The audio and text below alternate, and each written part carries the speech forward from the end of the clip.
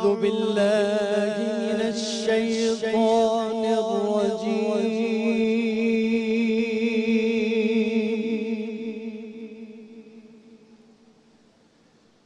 بسم الله الرحمن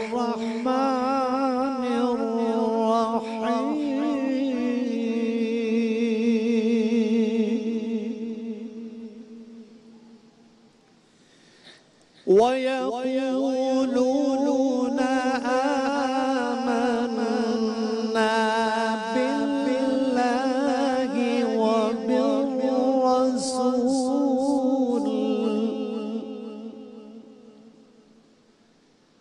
وأطعنا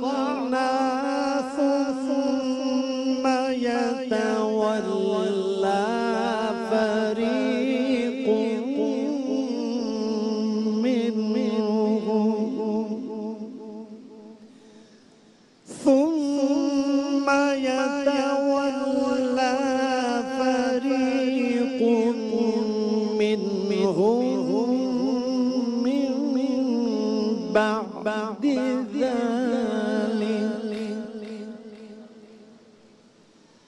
وما أولئك بالمؤمنين.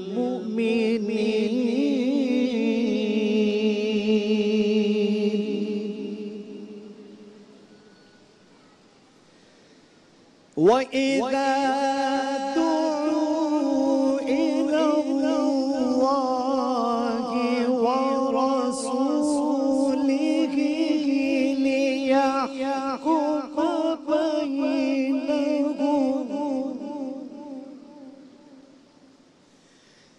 ليحكم بينهم إذا فريق منهم.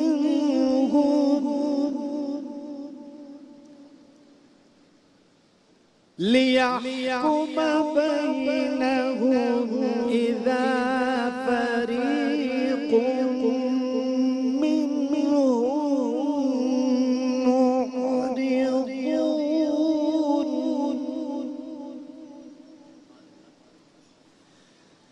وإن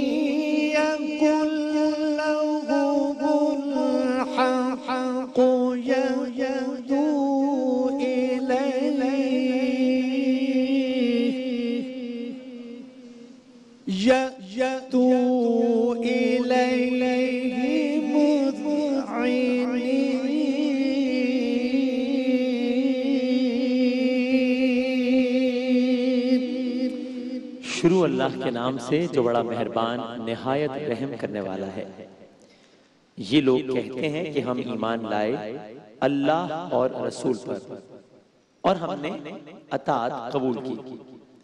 مگر اس کے بعد ان میں سے ایک گروہ اطاعت سے منہ موڑ جاتا ہے۔ ایسے لوگ ہرگز مومن نہیں۔ جب ان کو بلایا جاتا ہے اللہ اور رسول کی طرف تاکہ رسول ان کے آپس کے مقدمے کا فیصلہ کریں تو ان میں سے ایک فریق کترا جاتا ہے۔ البتہ اگر حق ان کی موافقت میں ہو تو رسول کے پاس اطاعت گزار بن کر آ جاتے ہیں أفي قلوبهم مرض أم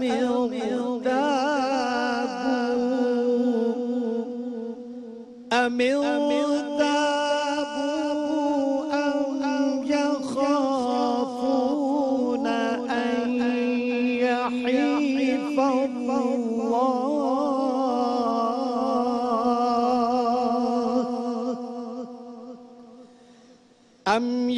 الله؟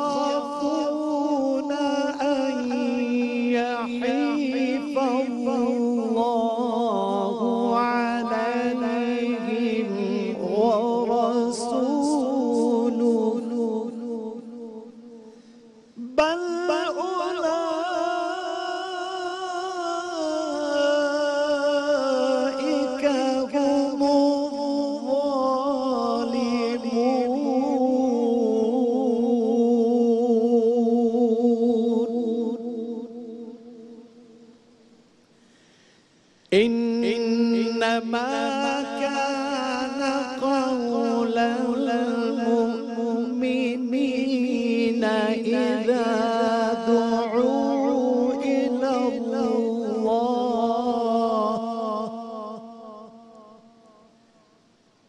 إذا دعوا إلى الله ورسوله ليحكم بينهم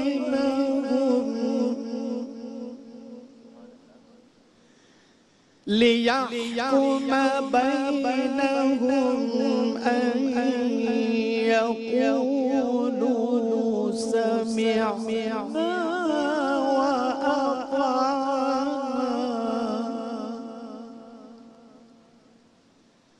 وأولئك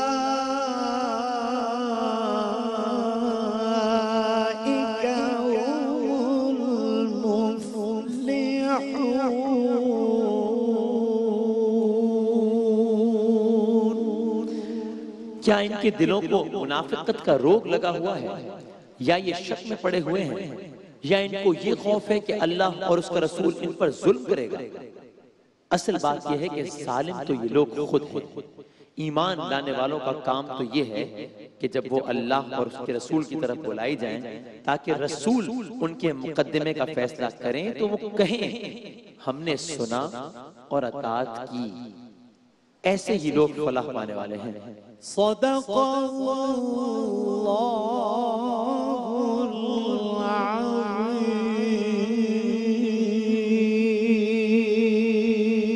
العظيم جزاک اللہ السلام علیکم ساری تعریفیں تمام حمد و ثنا سب مدھتیں اس خدائے بزرگ و برتر کے نام کہ جس کے قبضہ قدرت میں تمام جہانوں کے تمام نظام درود و سلام حضرت محمد مصطفیٰ صلی اللہ علیہ وآلہ وسلم، ان کی آل اور ان کے اصحاب پر۔ جناب قاری بھائی ظفر قاسمی صاحب کی خوبصورت آواز میں تلاوت کلام پاک سے شان رمضان، شان افطار کے دس رمضان المبارک کی نشریات کا باقاعدہ آغاز ہوا ٹیلی ویژن سیٹس کے سامنے بیٹھے ہوئے، جتنے بھی ناظرین ہیں دنیا بھر میں، اب عالم اسلام کے بیشتر ممالک میں آج دسویں رمضان المبارک بھی ہے اور ساتھ یہ اناؤنسمنٹ بھی کہ آپ A R Y digital U K پر بھی اے آر وائی یہ رمضان کی نشریات براہ راست دیکھ رہے ہیں۔ ہم کوشش کریں گے ذرا آگے جا کر آپ کو ہم اس کی ایگزیکٹلی فریکوینسی بھی بتا دیں گے۔ بلکہ اس پر ایک ٹویٹ بھی میں کر دوں گا ایگزیکٹلی تاکہ اگر یو کے میں ہمارے ناظرین جو دیکھ رہے ہیں جن کی بہت بڑی تعداد اور ہم جاتے تو ہمیں ان سے بہت پیار بہت محبت ملتی ہے۔ وہ بھی اگر کہیں مس آؤٹ کر رہے ہو ٹرانسمیشن تو ان کو ایگزیکٹ لنک پتہ ہو۔ اشرفی صاحب وسیم وسیع صاحب محسن بھائی السلام علیکم۔ مزاج بخیر خیریت سے کل جو ہے وہ رمضان کا چاند سے پہلے میں اے آر وائی کی حدود میں داخل ہوا تھا۔ تو کل میں اے آر وائی کی حدود سے باہر نکلا ہوں پہلی مرتبہ۔ رمضان کے بعد یعنی رمضان شروع ہونے کے بعد۔ تو کل میں نے دیکھا ہے کہ اچھا یہ شہر اپنی جگہ کھڑا ہوا ہے سارے کیا ساری چیزیں کیا ہیں؟ اور تمہیں اندازہ ہوا کہ اچھا ساری نکلنے کا دل ہی نہیں چاہتا نا یہاں جی؟ سے۔ نکلنے کا دل نہیں ہاں اور کبھی چاہے تو موقع نہیں ملتا۔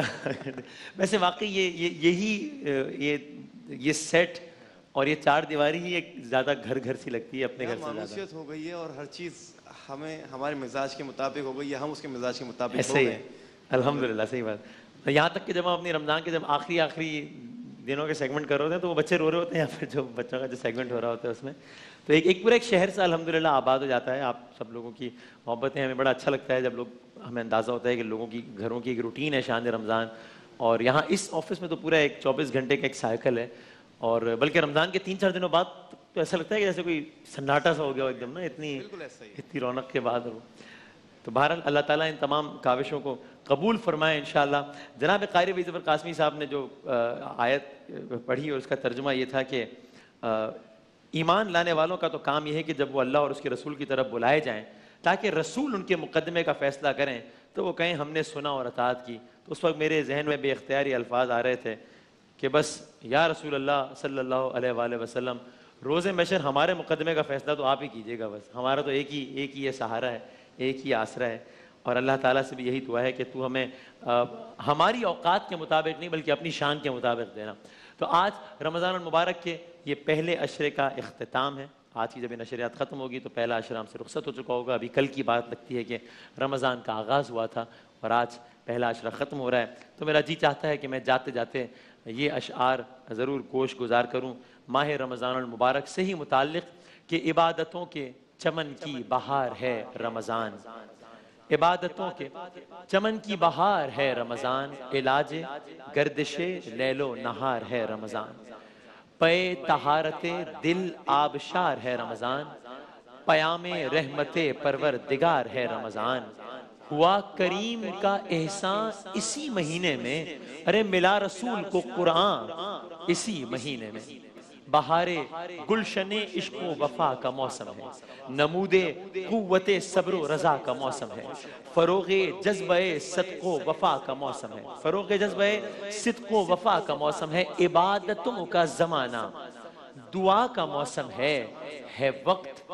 بگڑی ہوئی قسمتیں بنانے کا۔ زمانہ آیا۔ گناہوں کے بخشوانے کا۔ زہ نصیب جو ماہ سیام آتا ہے، اب تو گزر گیا پچیس فیصد۔ زہ نصیب جو ماہ سیام آتا ہے، زمین پہ اہل فلک کا سلام آتا ہے۔ اور جو پیاسے ہوٹوں پہ مالک کا نام آتا ہے، تو خود ہی رقص میں رحمت کا جام آتا ہے۔ سنا دو خوش خبری درد و غم کے ماروں کو۔ ملی ہے مہلت توبہ گناہ گاروں کو مغفرت کا اشرا شروع ہو رہا ہے۔ زہے وہ زوف یعنی اس اس, اس, اس, اس بڑھاپے پر اس بزرگی پر قربان زہے وہ زوف جو کردار کی دوا بن جائے۔ خوشا وہ پیاس جو سیراب یہ وفا بن جائے۔ زہے وہ بھوک جو دل کے لیے دوا بن جائے۔ خوشا وہ نیند جو تسبیح کبریا بن جائے۔ اسی کو حق ہے کہ دستے دعا بلند کرے کہ جس کی بوئے دہن کو خدا پسند کرے۔ آپ نے علماء سے سنا ہے کہ جو منہ کی بو ہے یا خوشبو ہے وہ وہ بھی پسند ہے تو اسی کو حق ہے۔ چونکہ رمضان کا اصل حق پھر روزے دار کو ہی ہے اسی کو حق ہے کہ دستے دعا بلند کرے کہ جس کی بوئے دہن کو خدا پسند کرے۔ ہر ایک سانس میں ذکر خدا کی لذت ہے۔ ہر ایک نفس میں نہا جلوہ تلاوت ہے۔ یہ ترک آب و غذا زندگی کی دولت ہے۔ جو نیند آئے تو سونا بھی ایک عبادت ہے۔ نزول رحمت پروردگار ہوتا ہے کہ بخت جاگتا ہے، روزہ دار سوتا ہے۔ ہم سو رہے ہوتے ہیں۔ ہمارا بخت ہمارا نصیب جاگ رہا ہوتا ہے اس مہینے میں۔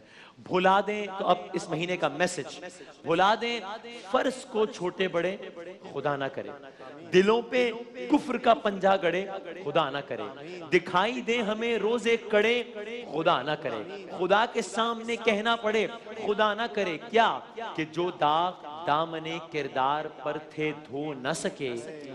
گزر گیا رمضان فیضیاب ہو نہ سکے۔ اسی دعا کے ساتھ کہ اللہ تعالیٰ اس ماہ کی جو اشرا گزر رہا ہے جس کی آخری ساتھ ہیں اس کی اور جو اشرا آنے والا ہے اس کی بھی ایک ایک ساتھ کی ہمیں بھرپور طریقے سے یوٹیلائزیشن کرنے کی توفیق عطا فرمائے انشاءاللہ۔ ایک وقفے کے بعد دوبارہ حاضر ہوتا ہے